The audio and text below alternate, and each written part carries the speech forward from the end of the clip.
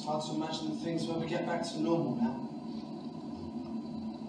So much time's elapsed since I was at the top.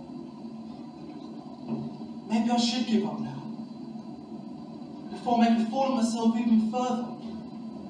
But the other half of me keeps saying, no, Gary Glitter isn't dead.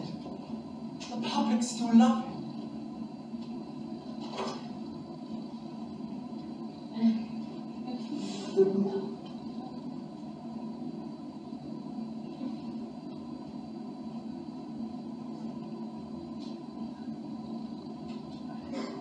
Be the leader or not to be the leader? That is the question. I can't decide if it's better for me to suffer the bad reviews of outrageous critics or just to go out there and oppose them and end the ridicule, regardless of the consequences. To die, to sleep,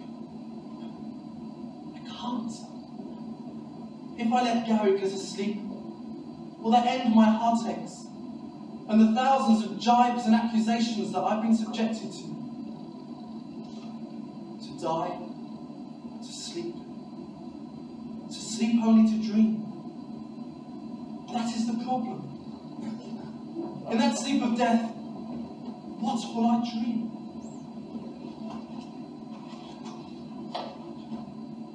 I can't retire. It'll be too much torture for me. I belong on the stage. It took me 15 years to get to the top.